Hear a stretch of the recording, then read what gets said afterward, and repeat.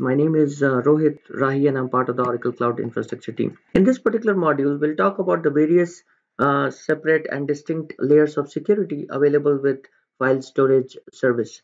So as you can see on this slide here, there are various um, distinct and separate layers of security which you could leverage uh, in order to secure your file systems and mount targets. So starting with uh, IAM service and, and again every service we have talked until now and every service in OCI uh, you could you could leverage the identity and access management service uh, to control actions like uh, who can create instances client instances uh, who can create the FSS uh, VCN and even you know who can create list and associate uh, file systems and mount targets. So all those activities sort of the control plane activities can be can be controlled by your identity uh, service right? So you you create your users you create your the, the add the users to the group and write policies. So you do authentication and authorization uh, and if these um, uh, users don't have the correct level of uh, permissions uh, they cannot create file systems mount targets compute instances uh, and virtual cloud networks right? So pretty straightforward. We talked about that previously. There is also concept of security list uh, which is associated with your virtual cloud network and network security groups now because uh, I must add uh, NSGs are also available now. So you could use security lists as well as you could use network security groups. We'll talk about those in the next slide. There's also something which is called export options, uh, which basically is uh, applying control access control per file system based on source IP CIDR blocks that bridges the security list layer and the NFS Unix security layer, right? And we'll talk more about what exactly we mean by that. It adds, it gives you that additional security uh, layer uh, which you could which you could leverage. And then finally, you could of course uh, leverage the NFS uh, Unix security. So when you mount your file system, you read uh, and write the files. Uh, you could use different options, right? And as the caveat goes here, when mounting file system, don't use mount options such as no lock, resize, r size, or wsize uh, these options can cause issues with file locking and performance. And again if you go on documentation you can read all about these. But there are four different distinct layers uh, identity access management uh, security list and network security groups export options and nfs unix security. In this particular module we'll look into these two in greater detail. So we looked into this earlier. Uh, in the previous demo we had another client running here uh, in the same subnet. But what you saw was that uh, for for these clients to access the file system and the mount target you had to open certain ports right? So ingress you had to open this port uh, these tcp and udp ports and for egress you had to open these ports uh, but these becomes the source ports uh, for uh, for egress right? And we talked about this briefly uh, we do this for the tcp connections to survive the reboots right? And we talked about the fact that you know you're running mount target here it's highly available right so if let's say the server on which the mount target is running has to fail over uh, and you have a client here which has a TCP connection in flight, now the response, you know, if everything is fine, the response goes here. You really don't need this piece here, right? It's not needed. But suppose the response is coming from here, uh, from here, and then suddenly uh, the failover happens because uh, end of day it's highly available. Now the response has to go from here, right? So that's why you have to open specific source ports. Otherwise, this particular TCP connection cannot survive the reboot. Uh, the packets will get lost, right? Uh, and uh, if you don't if you don't write these other other rules, so that's the reason uh, why we have those uh, those rules available there, right? And the way this works is, uh, let me see if I can discard those comments. So the way this works is uh, we saw this in the previous demo. Uh, in this case, you know, we have to open certain ports for ingress, certain ports for egress, as we just talked about. Uh, ingress, uh, I'm just right now only this client is accessing the file server. So this is the IP address here, right? And I, I have to open TCP ports, destination ports, these ports. And for uh, egress, I have to open these specific ports as source ports, right? Exactly the scenario we just talked about. If you want all subnets within VCN to access the file system, just change this CIDR to the the CIDR for the VCN. Then all the subnets can can access uh, the mount target, and we did that precisely in the previous demo. So we looked into that. We actually did the demo. I talked about the logic why we why we do that.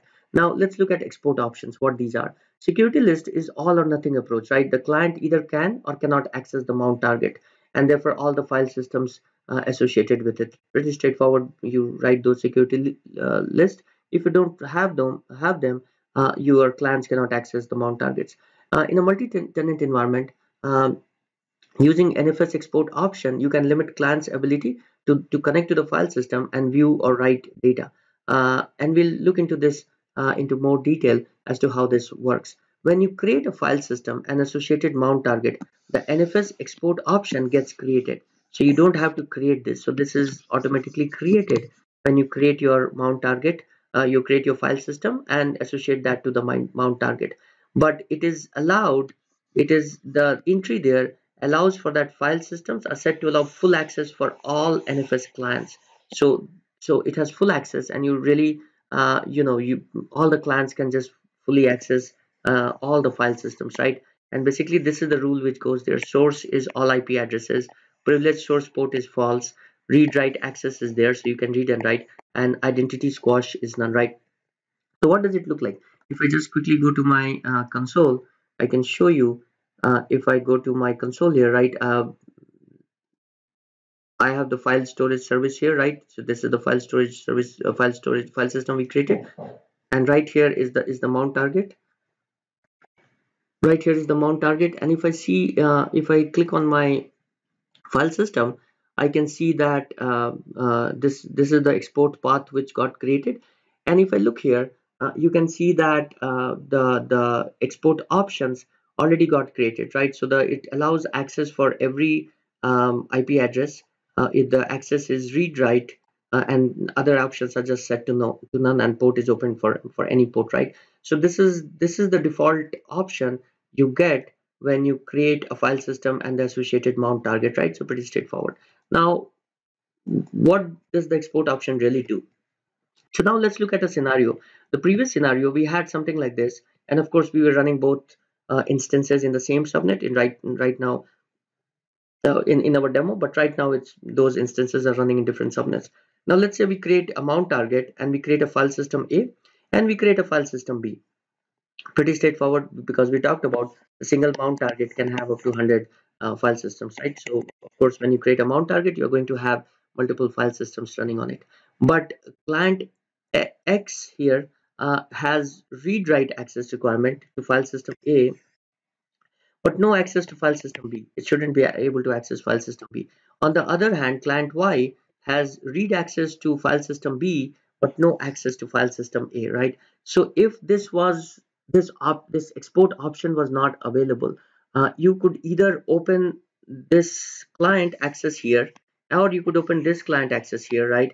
And they could access every file system, right? There is no granular um, set of uh, access permissions you, you could specify with uh, with your security list right but now in this case because we have this export option feature available I could do something like this where I specify that for my client X I have the read write access right? And to, to whom? I have the read write access to my file system A.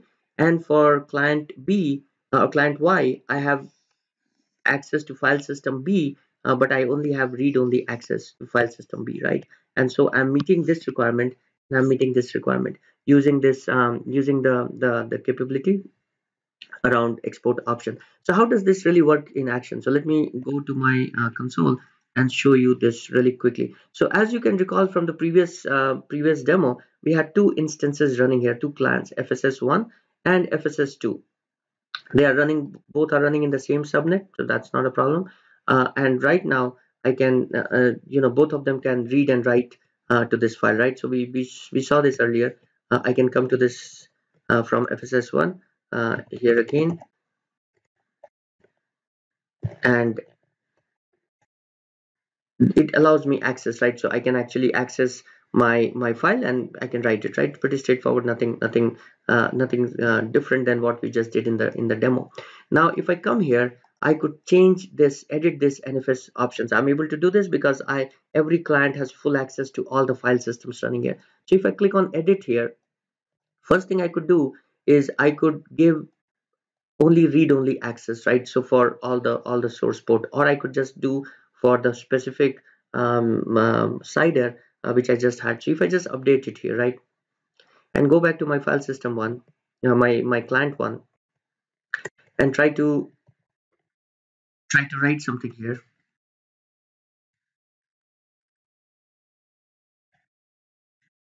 You would see that I don't have uh, write permissions again uh, uh, anymore, right? It's saying cannot cannot write to this file because I just changed my my access level here, right? So it, I just said read only, and so I'm I'm you know I cannot go ahead and um, access the file system in a read write mode anymore.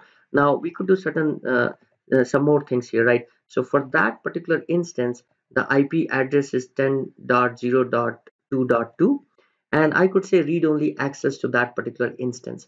And the other instance which we are running, the second client instance, we the private IP is 10.0.2.3. And right here, I could say uh, give a read write access, right? And I can update my permissions like this. So now if I go back to my first client FSS1, uh, which is 10.0.2.2, I have only read only access, right? So if I bring this file again and I want to uh, change things here, right? Change and save the file it i cannot right? Because it gives me uh, it's it's giving me uh, i have read only access so i cannot change the file. But if i go to my second uh, instance um, which is which has read write access which which has both read and write access just bring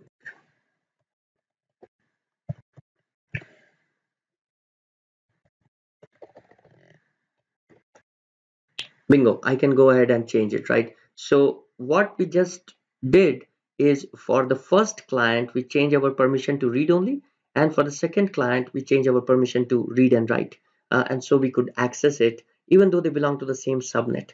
Uh, right now I have only fi one file system running but if I had many many file systems running I could control granular access using uh, capability like this. And if you come to this uh, on our documentation page you can read a lot more about export options. This is a more complex topic so we covered this in greater detail in our level 200 um, uh, modules to 200 videos but you can see different scenarios here right? The first scenario if i scroll down is the host access based uh, uh, control host uh, based access. And this is exactly what we just showed in the slide here right? So it talks about client a client b um, you know how you can control the access and it gives you you know some some uh, you know console example cli example etc uh, the second, we the one we just did is limiting the ability to write data for specific uh, IP addresses. So if my client is running this IP, private IP, which we just did uh, to read only, we did that read only for one client, and for the other client, we did read and write, uh, read and write both. Both were running in the same subnet. And the third one is uh, we can have more uh, secure access to limit the root's user privilege and things like that, right? So in our 200 module we talk more about what a privilege port is and what identity squash are etc etc right? For this one we can we can skip all the details but this is the page where you can find all the information.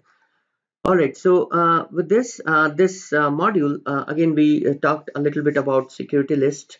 We didn't really cover network security groups but the behavior is very similar to how we did open certain ports for security for TCP and UDP both ingress and egress. And then we saw that look that is more uh, high level uh, either you open access or you close access uh, for instances. And then every instance has uh, access to every file system. So if you want to go a little bit more granular you use um, this uh, option this capability called export option which gets automatically created when you create a file system and associate with a mount target uh, but you can go granular and you can have uh, things like one of your clients can have read-only access, other client can have read-write access, and so on and so forth. And you can make it really, um, really more uh, uh, detailed and have sort of more granular security controls. Uh, I hope that was useful. Uh, thank you for joining this uh, module. In the next module, we'll talk about um, snapshots. Thank you.